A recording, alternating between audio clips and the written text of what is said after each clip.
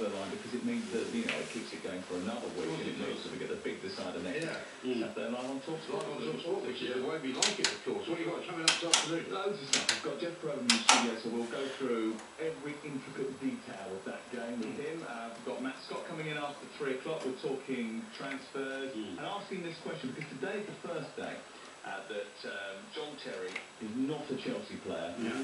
for 22 years, over two decades. Well, his contract's run out, has it? It's run out, so it's a free transfer. Okay. Today, man, for the first time in years. Uh, so is he the best Premier League all time? We've been talking about that. There's Right. a contenders, but is he is he is he the best? And will he be being unveiled as uh, a championship player in I think it couple won't be days? it won't be long before he is. Yeah, I think yesterday. And will he then be the best defender in the championship? Might be might be the best one in the championship history since it was rebranded. That's Some for would sure. say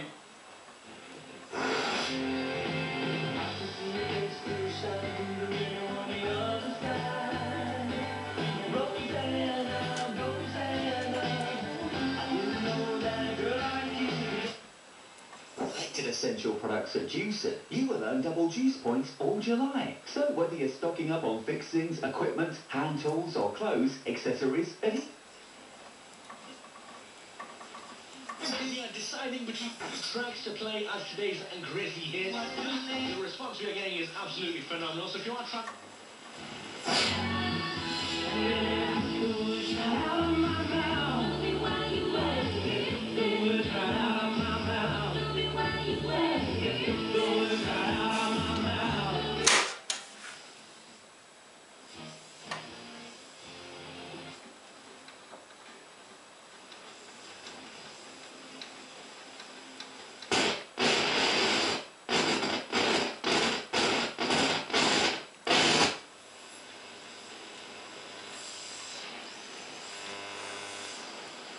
Not much along with.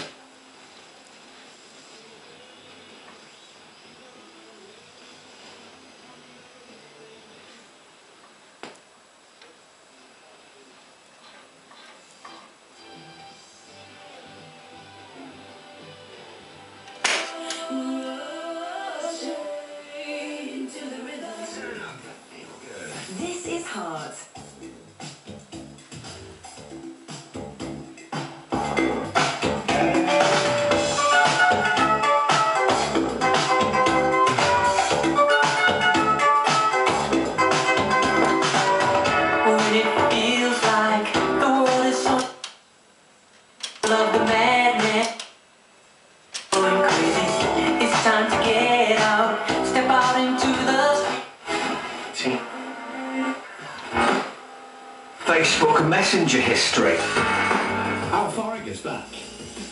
Goodness me, I just had a little peek online. There's, there's conversations with people.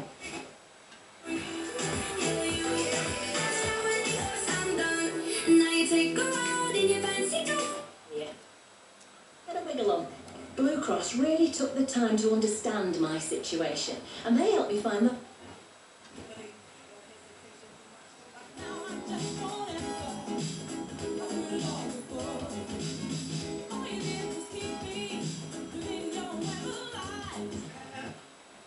I mean, you'd had time to write record of the week.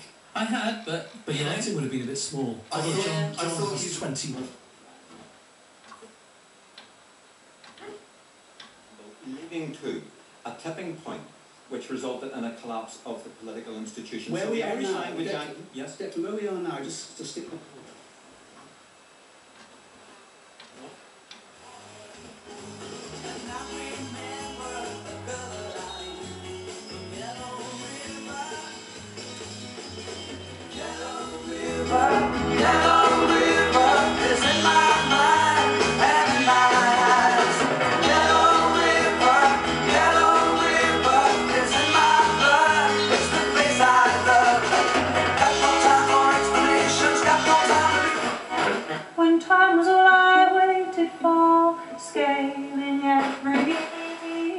Height to see what lay ahead. And they say that truth lies in the heart. effective equality access in the north. So delivery on an Irish language act needs to be seen in the context of delivery on a swathe of agreements which to date have never been delivered upon. And in respect of broader cultural issues, I actively support the idea of the Ulster Scots traditions and culture being nurtured, fostered and supported and encouraged. So it is not a case of advancing an Irish Language Act to the exclusion of other cultural traditions in our society. It is precisely because the Irish national tradition and the Irish cultural identity has been treated with such indifference and discrimination in this society and in this state by parties such as the DUP that we find ourselves in this very intractable political crisis. Um, Mr. Stillford, what's wrong with that? Well, um, a couple of points that need to be made uh, at the outset. Firstly, for if a language has been treated with such disdain and discrimination, uh, the government, uh, of which my party was a leading part for 10 years, uh, would not, over the course of um, recent years, have spent 171 million pounds on the Irish language, including more than 80 million pounds on Irish medium education. In terms of the agreement uh, to introduce legislation in that regard, that was an agreement that Sinn Féin made independent of the St Andrews Agreement with the then Prime Minister Tony Blair.